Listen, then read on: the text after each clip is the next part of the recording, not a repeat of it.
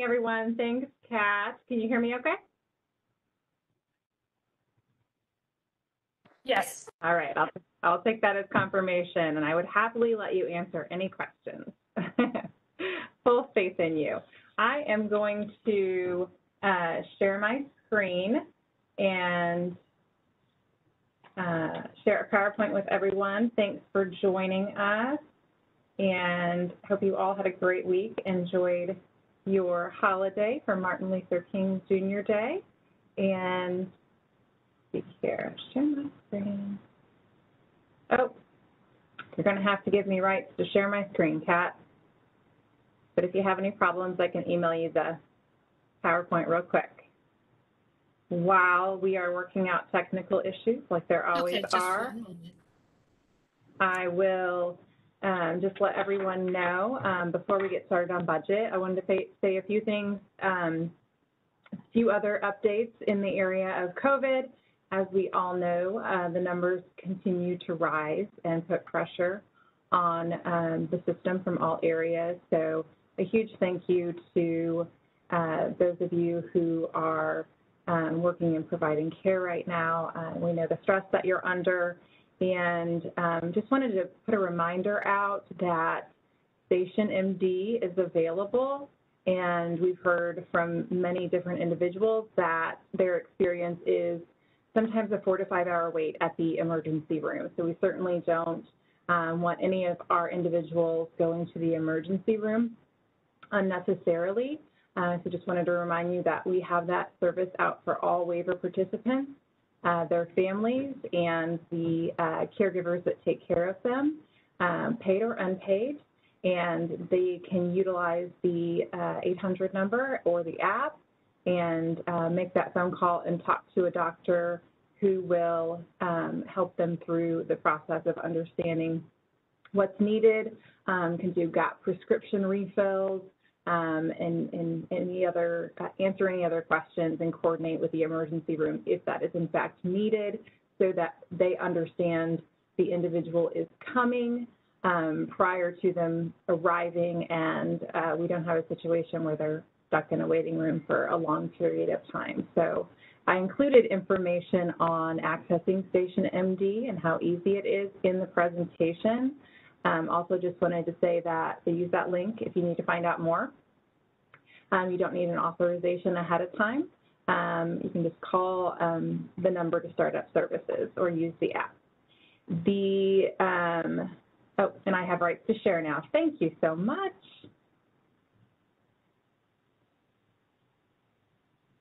Okay.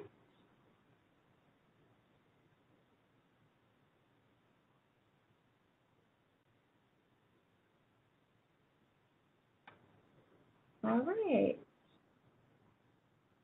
And Kat, can you give me a thumbs up if you can see my screen? We can see it. Okay, wonderful. Okay, and so that there's a link right there. Um, you do not have to furiously take notes as I talk today. There will uh, be links to a lot of the budget information that I'm going to talk through, but then there will also be, um, we'll post the, the PowerPoint for everyone to have access to as well. Um, the, the other thing in the realm of COVID, a couple of other things, um, there were some Supreme Court decisions that came out last week. And um, so what that means is that um, our providers who had, our home and community-based services providers who had been um, a part of the OSHA mandate because of having 100 or more employees, that um, over the decision to overturn um, no so that that no longer stands.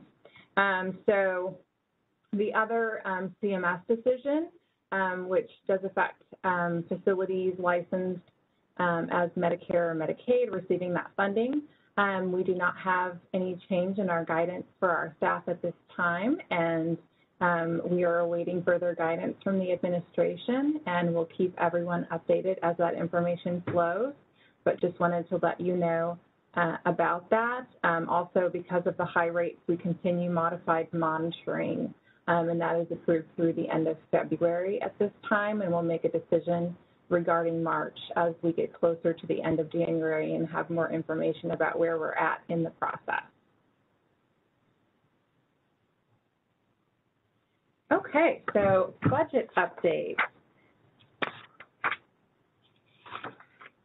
So you've probably seen that the, I think we had a question in the chat, but I can't see the chat because I'm sharing my screen. So, um, oh yeah, I can. Here we go. Yeah, we had a question um, regarding um, the decision was overturned. So um, basically, um, there, and I'm probably not using the correct wording, but there was a challenge to the OSHA mandate um, for 100 employers with 100 or more staff um, to require vaccination or testing. Um, and the Supreme Court decided that that um, they agreed with the challenge so that OSHA mandate no longer stands. They did not agree that OSHA had the authority to uh, require that. Hopefully that's helpful. Um, me and my legal, why I'm not an attorney. Uh, okay, so early supplemental. There's links in here to some information uh, for you. Um, so that's House Bill 14.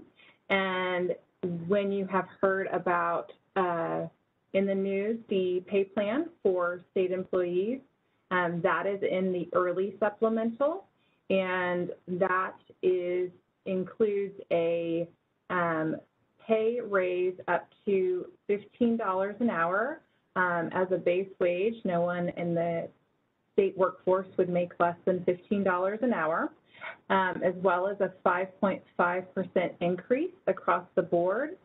And it also includes some funding for um, compression that would result uh, as a as a uh, implementation of the $15 base pay uh, went into effect. Um, so the governor's request was for that to uh, be implemented on February 1st. But of course, the timing of that depends on, um, first of all, the, the approval depends upon um, the legislature.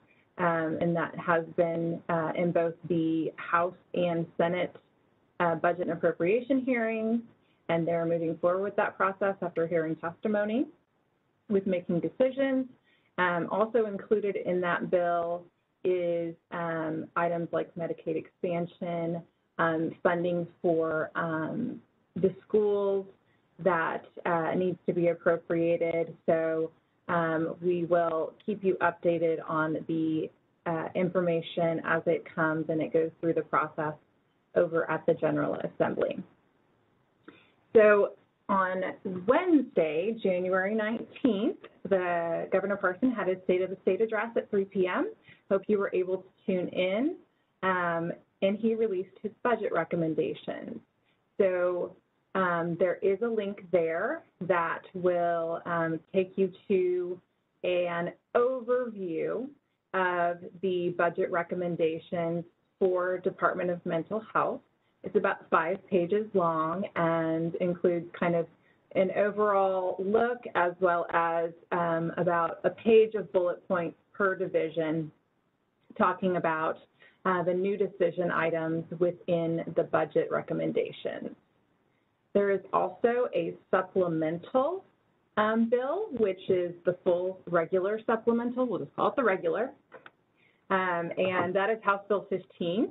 Um, that typically passes around early April.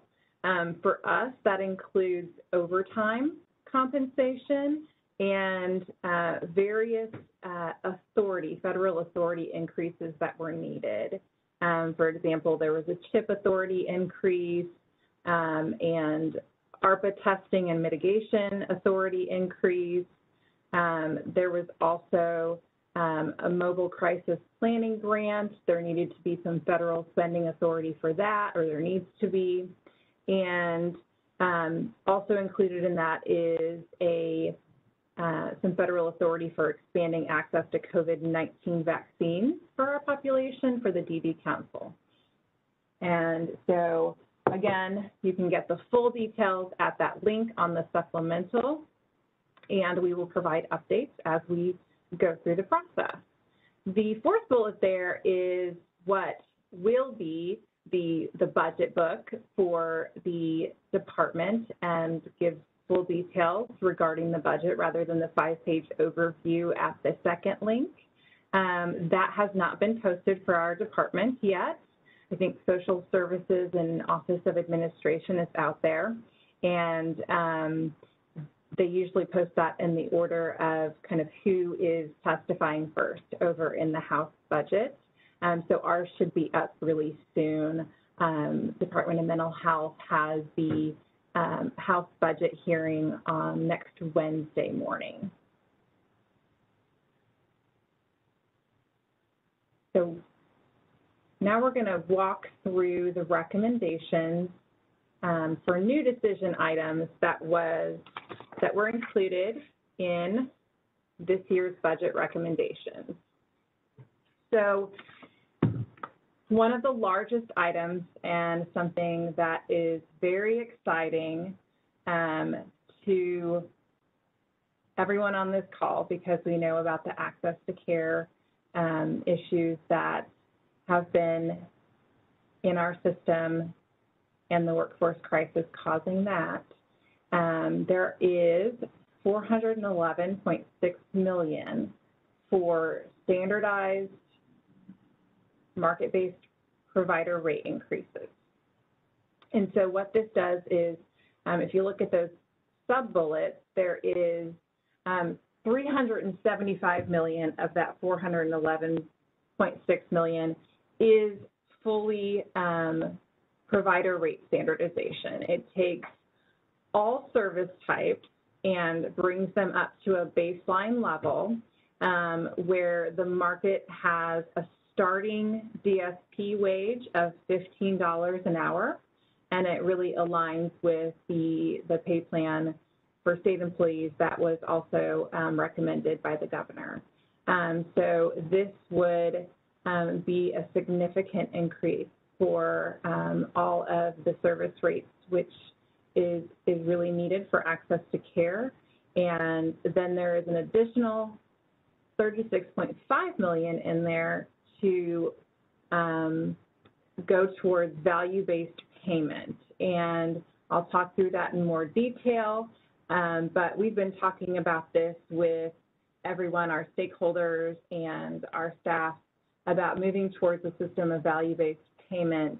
And um, so this, we're very excited to see these recommendations come into uh, play and have the opportunity to move the system in order to reward quality and um, the providers who are investing in, in providing quality services.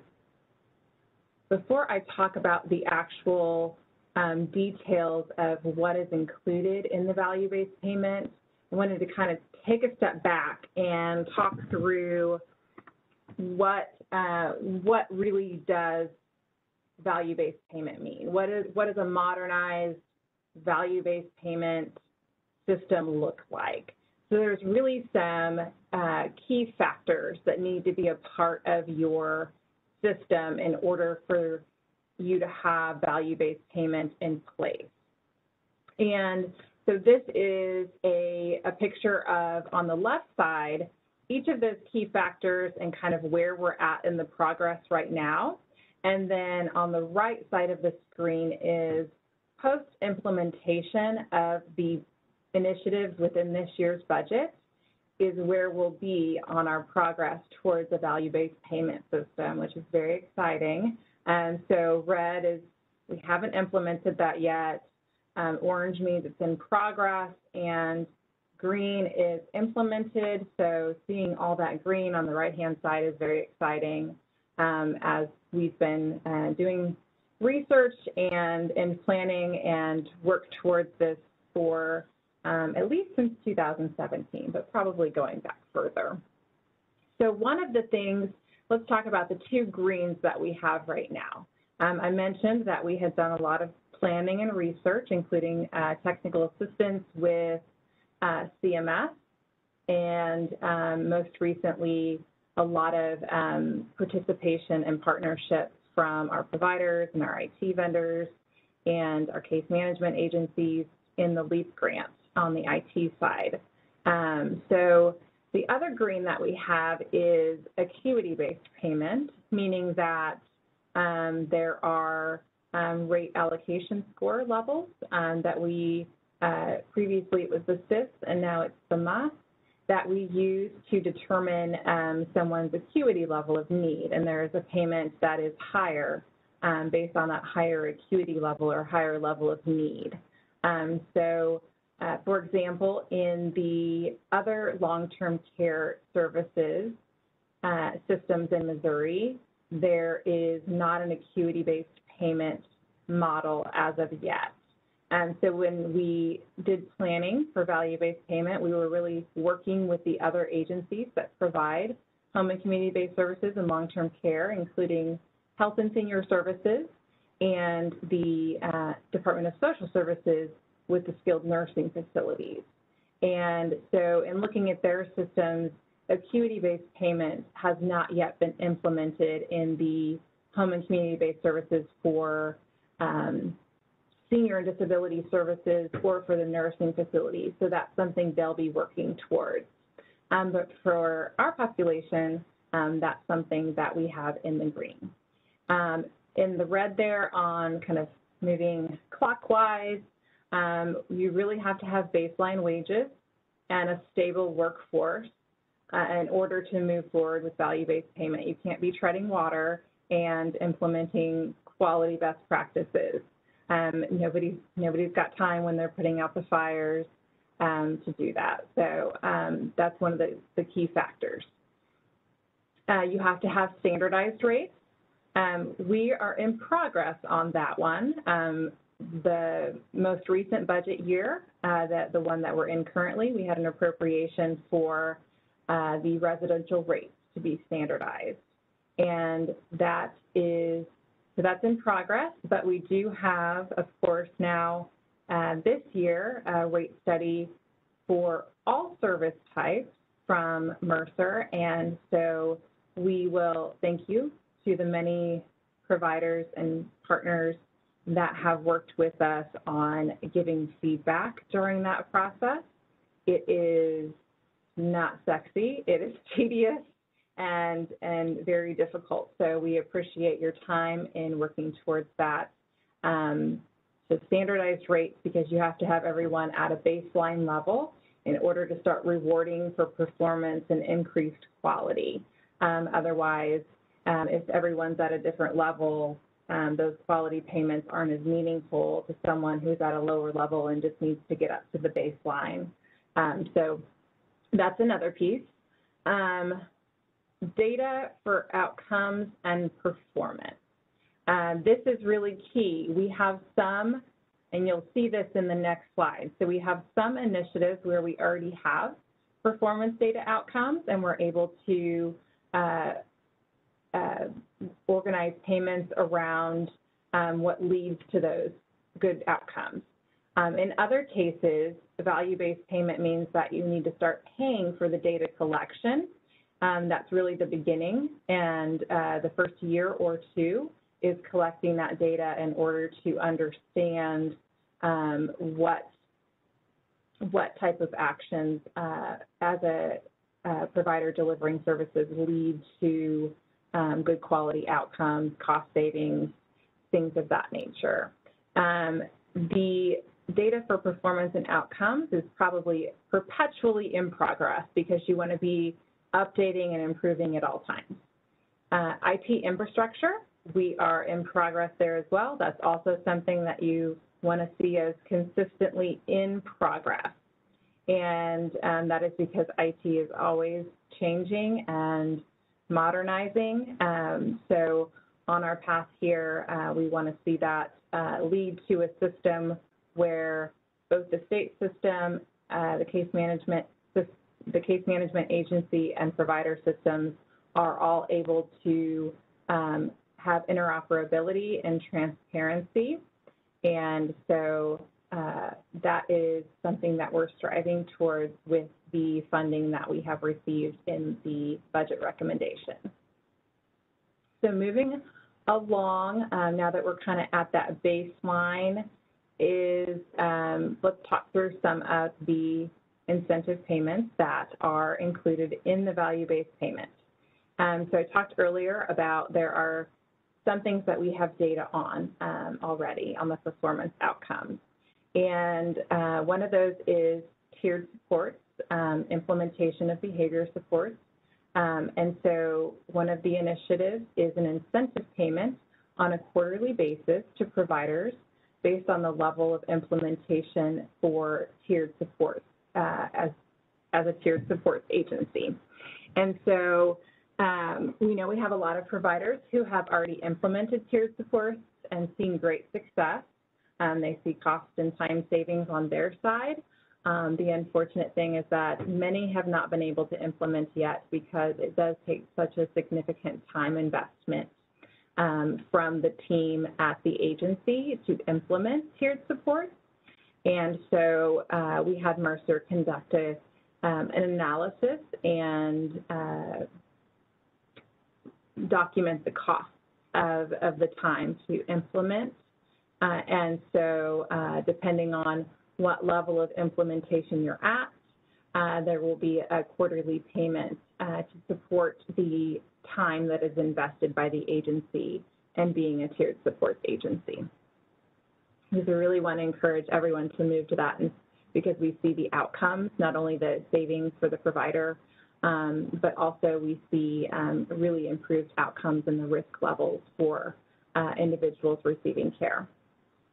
The, one of the next initiatives is remote support.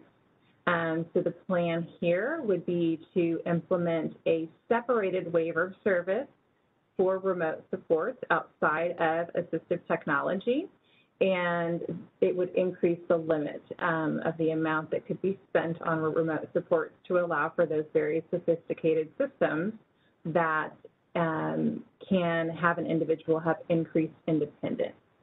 And for us, this would uh, be implemented as a shared savings program. We know that there is a reduction in the number of individuals who um, need to provide care when remote supports are put in place. And so it's a positive impact on a on the direct care workforce, and it is also a savings to to the state. Um, there is, you know, possibly one you know, one shift or more um, per day per individual that's not being covered. Um, so the, the model here proposed would be to calculate that savings uh, at six month, six month intervals for um, those who had implemented and the, uh, the state would uh, provide a uh, portion, a portion of the savings in a payment to the provider who had implemented remote support. Um, so uh, that we're really excited about. We are technology first, and we believe that um, those who uh, put in the work to invest in uh, technology and increase independence uh, deserve to um, share in, in the benefits of that to the state. The next is electronic visit verification and this is um, a payment for um, the personal care providers who are connecting to the EVV aggregator system. And um, so this is going to lead to data being available at the Medicaid level for decision making. And so um, that, uh, that will be a part of the, the incentive payments that are proposed. And kind of the next category of, of what we want to see in the value-based payment is we want to see, um, we have a real uh, focus on workforce recruitment and retention. And um, we know this is the biggest issue that um, everyone is dealing with right now. Um, so there is some funding for enhanced training to be built. And basically, uh, what this looks like is the, uh, the purchase of the NADSP, the National Alliance for Direct Support Professionals, um, the three levels of NADSP training to be placed in the RELIA system where all have access to it. And then there would be incentive payments uh, at different levels for agencies who invested in the time for their employees to be trained um, with that enhanced training that was available. Uh, because we know that well-trained individuals take better care and have uh, individuals have better care outcomes when there is enhanced training. So, but we also know that um, people want to be rewarded for the enhanced, uh, le the learning that they do um, and taking on those additional responsibilities. And there is a cost to providers for the time that it takes for those individuals to uh, receive the training. So uh, there is a proposed 1% rate increase at three different levels for agencies. Um, and level one would be that 100% of your employees have that level one training.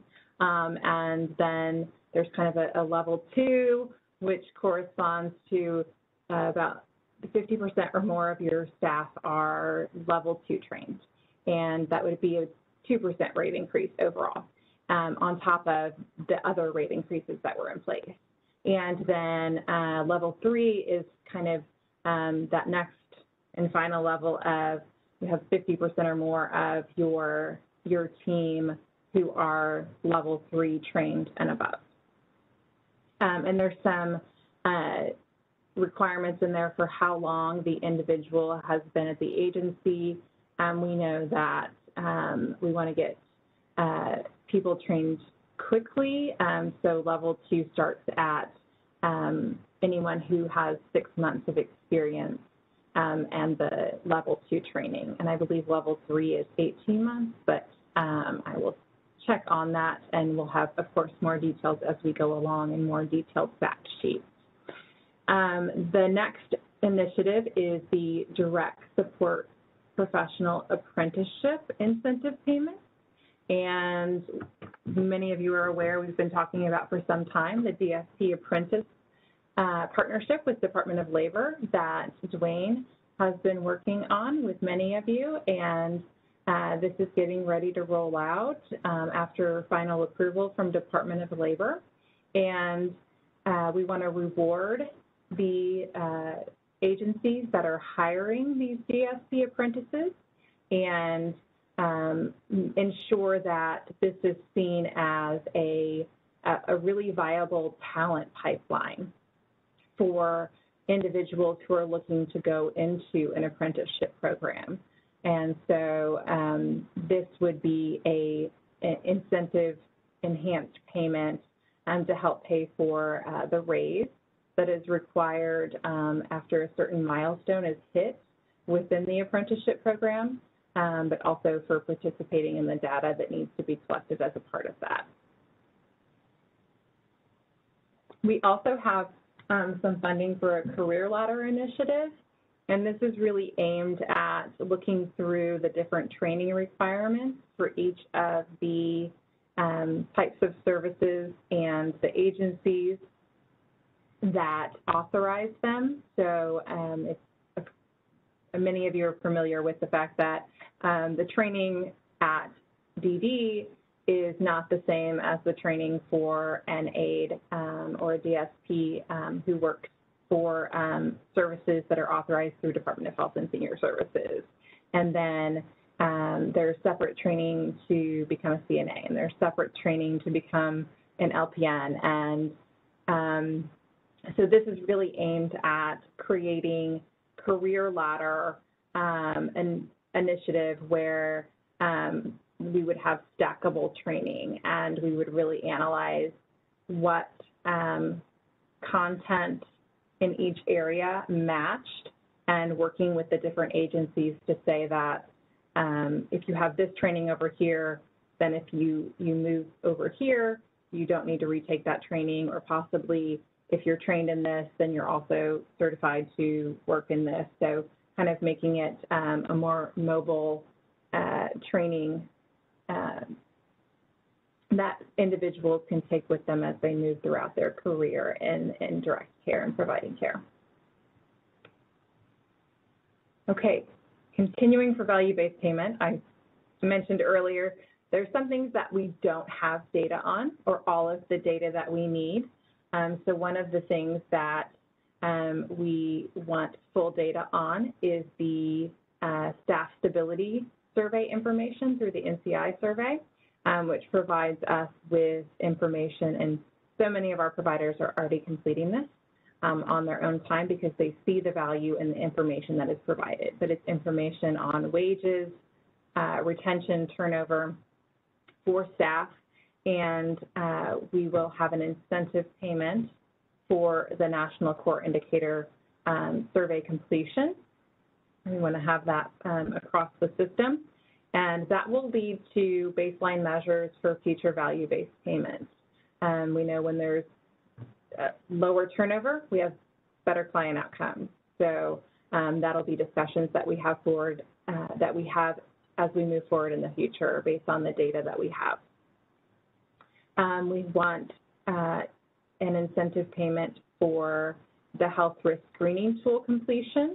And this is really aimed at getting a baseline um, look at the overall uh, health of the individuals that we serve, what their health risk level is, and using that to develop new value-based payment uh, initiatives and incentive payments for uh, rewarding the um, the lowering of someone's health risk level through um, certain activities. So that's the data that we're looking for there.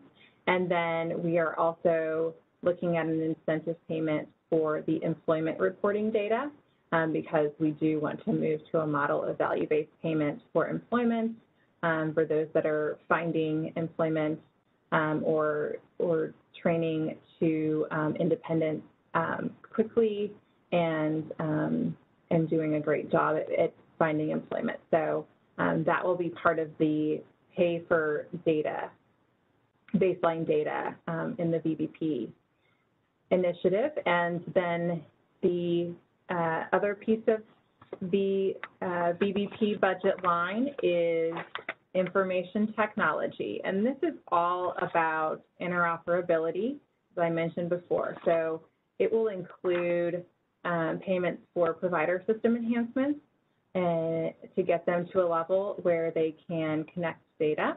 Um, it will be to help fund uh, connections with the health information exchanges for provider systems and enhancements to the connection system in order to um, be able to process value-based payments um, that are a little different than paying for 15-minute service units or, or uh, daily service units. So that is the, the type of initiatives that are included in the IT funding as well. One of the other bullet points that you'll see in that summary document of new decision items for the department is the 14.7 million of federal funds to enhance and expand the HCBS program. Uh, this is the HCBS Enhanced FMAP, but there was also HCBS Enhanced FMAP funds for the value-based payment items as well. And um, you'll see that the enhanced, the enhanced FMAP is really being used at uh, targeted towards the intentional use of one-time funding initiatives to enhance the program, whereas all of the rate increases are funded utilizing GR in, in ongoing funds. And so we don't create a system where we need a replacement um, general revenue new decision item in the future for those ongoing rates. Uh, in this you will really see uh, a look at increasing the quality and um, training in our program. And there have been numerous uh, CMS requirements increased in the recent years regarding quality assurance and the health, safety, and welfare, which is wonderful. Um, and we want to make sure that we as an agency are following those guidelines to ensure the health, safety, and welfare, and including those for transparency in initiatives like a provider scorecard. So there is that piece in here. There's also training on risk mitigation and due process and uh, rights uh, also included in the QA piece. And there is an increase to the cap on home modification service. So we want to uh, raise that limit uh, with our uh, with a modification to our service to say that we know that the uh, cost of home modifications has greatly increased as construction costs and the overall um, cost of living and inflation has gone up.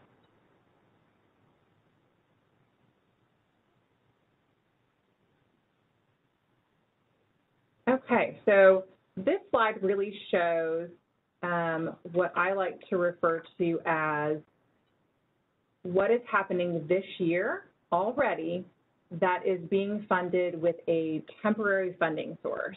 And we really need to move to a, re, uh, a secure ongoing funding. We need general revenue to continue these. So the first one is the um, replacement general revenue for the um, residential increase and standardization that happened this year.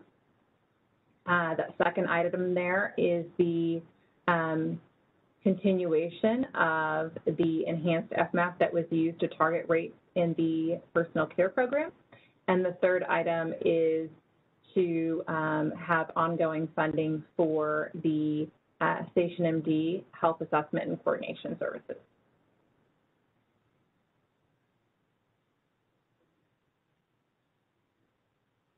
Okay, this item here is about the cost to continue the program. And it is $127 million total, with $43 million of that being general revenue. The utilization increase that you are familiar with seeing in the budget process is uh, the anticipated and projected individuals who will be entering the waiver in this coming year. And so you can see the numbers there based on our projections for the number of new individuals coming into the in-home and residential waivers. This also includes a cost to continue. So um, separate from new individuals entering the waiver and needing services, there and making sure that we do not have a waiting list. Um, this is for individuals that are currently receiving care in the waivers, and over the years, there has been an increase in their care plans and their needs for care. Uh, and this has kind of been building over time and is really a good thing um, if you look at it from the perspective of individuals with DD are living longer and they're staying in the community longer. And so um, that also means that we have a utilization increase for those who are currently in the program. So 38 million of the 127 million is for the cost to continue of individuals who are currently receiving services. A couple of other things that are in the budget that are pretty exciting. Um, well, FMAP's not exciting. The FMAP adjustment is not exciting.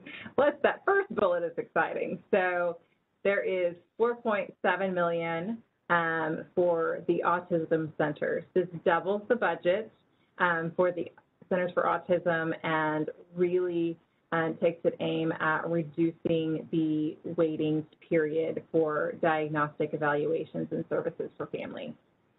Um, let's see, and then there is, yes, a very exciting FMAP adjustment that I think there was a 0.01 decrease in the federal match for us this year, or this coming year. There is also a request for federal authority uh, for a vaccination uh, funding received by the DD Council uh, to assist individuals in our population with accessing the COVID-19 vaccine. Um, and then there is a continuation of the state employee pay plan that is recommended in the early supplemental, as well as um, that smaller bullet underneath, the continuation of the 2% pay plan that went into effect um, at the beginning of this year. So with that, I will stop sharing my screen um, and just see if there are any questions.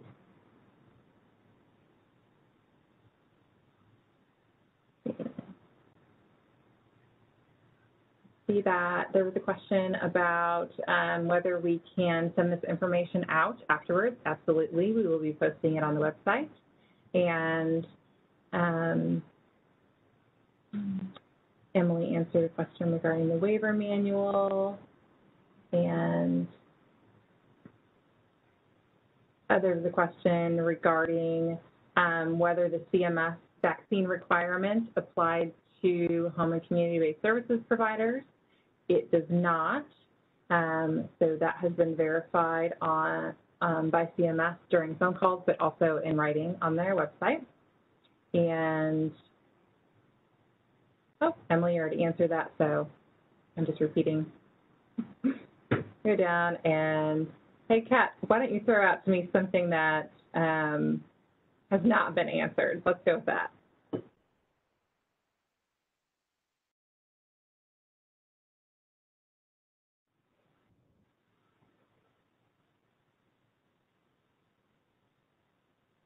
Um, this is Emily. I can um, give one to you. Would the incentives be a one-time payment to the provider, or would this be a recurring basis on a recurring basis? So the incentive payments um, are dependent upon the initiative. And so, um, for example, the uh, tiered support is something that is ongoing. And so the plan is for that to be a continuation.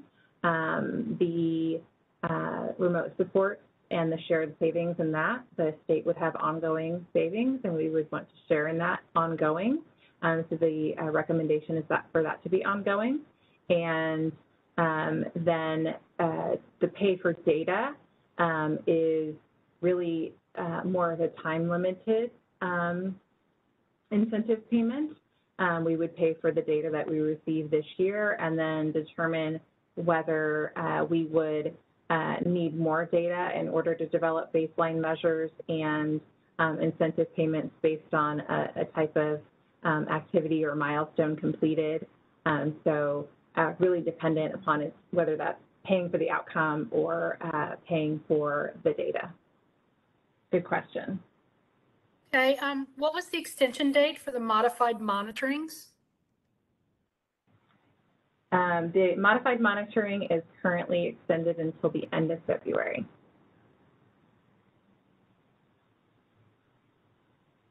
Does the autism funding affect EMAP, Eastern Missouri Autism Project?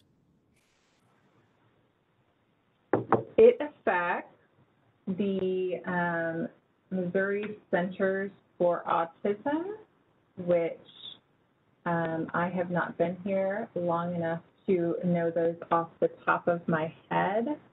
And we'll look that up very quickly. And I can tell you um, that it is based upon the um, current waiting list and where people are waiting at. And the amount is appropriated per center based on those waiting lists. So let me check that real quick and find the document.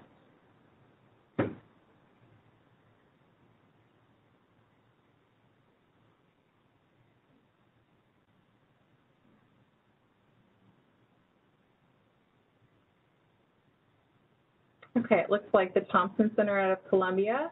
Um, so these are the um, centers for autism. So the Thompson Center out of Columbia, um, the Knights of Columbus out of St. Louis, Children's Mercy in Kansas City, Mercy Kids in St. Louis, SEMO in Cape Girardeau, and Washington University in St. Louis. Good question.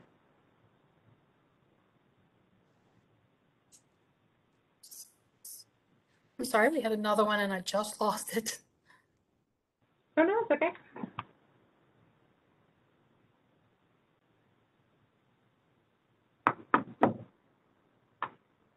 I have one that I see in the chat. For employees who are credentialed through the national DSP, will they qualify as apprenticed? That is a great question. So uh, Dwayne is currently working with stakeholders on the apprenticeship uh, program uh, content and the training, and it's being modified to um, fit the NADSP modules. So we will have a breakdown once he completes that on um, what level of completion someone will have when they have gone through the apprenticeship training and the level one training and kind of vice versa. And we expect that there might be some level two trainings mixed in there in the, the apprenticeship requirements. Um, and I'm not sure if every single level one would be within the uh, apprentice requirement. So more to come on that, but great question. This one kind of follows along that same line that you were just talking about, and you may have answered it already. Would staff do the NAP, NAPSTA level or the DSP apprenticeship, or could they do both? They seem to be almost identical. They are almost identical, and so we'll be figuring out just the little small intricacies um, and defining those for everyone. Great question.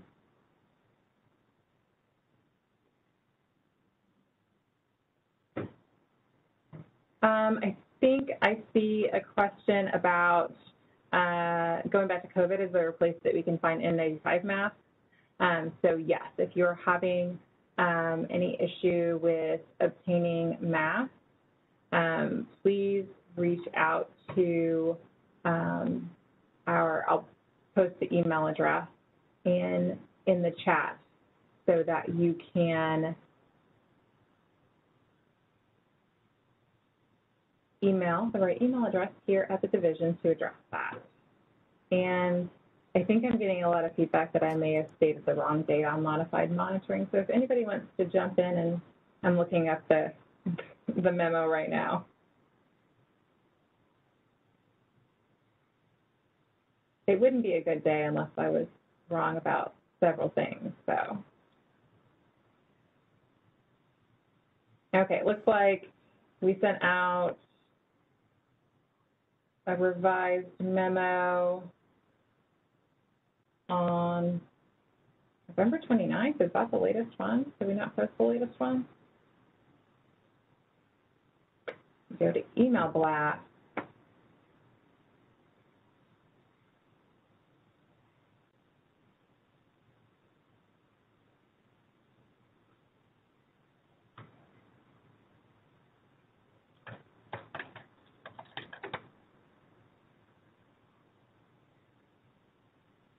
I see in the chat that somebody said we have not received the modified monitoring updated memo. I have signed it, so we will find it and get it out today. I apologize for that. Good to know. Somebody that just wants to clarify, Jess. Um, They said you just want to clarify modified, modified monitoring is, is extended to the end of February or the end of March. Which is it? I believe the um, memo I signed was until the end of February. You're correct, Jeff.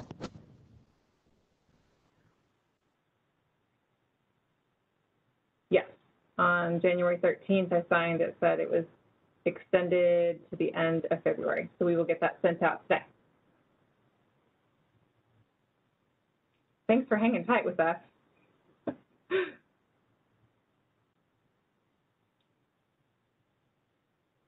We have another. It says to verify that autism funding will not be for the PAC projects, but rather for the actual centers. That's correct. The recommendation within the, the governor's budget is for the, uh, the diagnostic um, waiting list at the uh, Centers for Autism.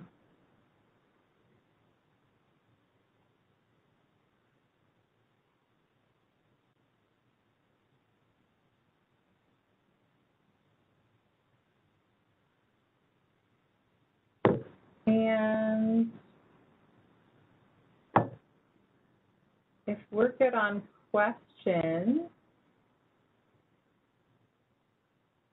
then everybody gets, oh, I see something about the federal public health emergency. Um, so, yes, so the federal public health emergency um, was extended on uh, January 14th, and um, it is extended for 90 days. And so we have updated our COVID flexibility chart online, um, which gives us the authority to, the public, federal public health emergency gives us the authority to continue with the flexibilities that we have in place. And um, so the flexibilities and exactly when they expire, um, some of them within the Appendix K are six months um, following the end of the federal public health emergency. And those that have authority within a disaster state plan amendment or an 1135 um, agreement with CMS, those expire upon the expiration, the actual day of the expiration of the federal public health emergency. Um, and you can find all those details in the COVID flexibility charts that we have posted online. Exactly what is extended until when. If a TCM wants to do Binax testing, can we order those kits through you? Yes, so that would be um, through the uh, Department of Health and Senior Services request site. And if you have any issues, you can um, email our testing uh, email address.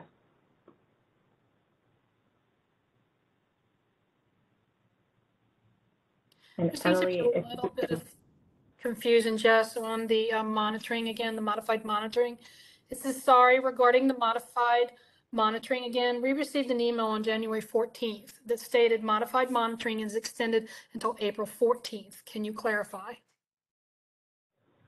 Yeah, so the, uh, the January 14th uh, announcement was that the federal public health emergency was extended, and so many of the flexibilities that we have the authority to do um, that have been modified um, are the um, are extended because of that until April 14th um, or six months following that.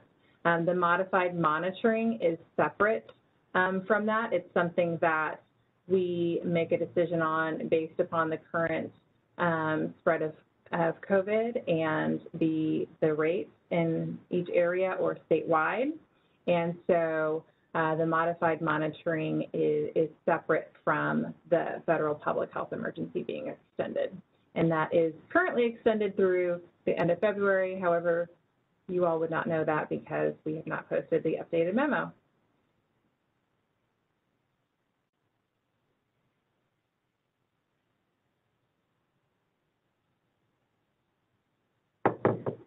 Emily, if you're real quick and can find the um, provider testing email address to stick in the chat, that one can be used for both the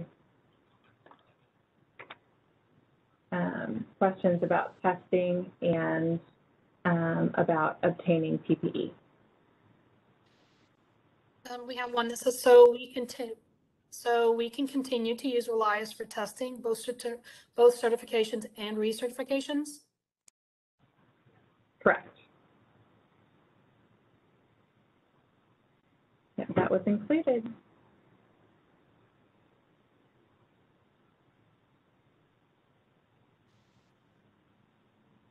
Any specific plans for ARPA funds for this department? So that is something that I have not had time to analyze yet, but we can include that in the next coffee chat. Um, it's in a separate budget bill, and um, but I do know there are some specific um, Department of Mental Health items within there. Um, I want to think off the top of my head and say that um, they are not specifically related to um, DD, but there are some that overlap regarding um, the population of dually diagnosed um, with uh, MIDD. So um, we will uh, include that in more information uh, the next time that we talk and in information that we send out. And appreciate the question because yes, there is a separate budget bill um, for the ARPA, um, with the exception of the targeted ARPA funds.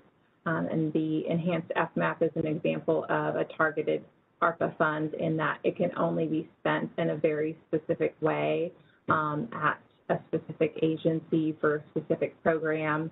Um, so the targeted ARPA funds were included in the department budgets while there's a separate ARPA bill for the um, for the funding uh, that is able to be used a little bit more um, flexibly throughout the state.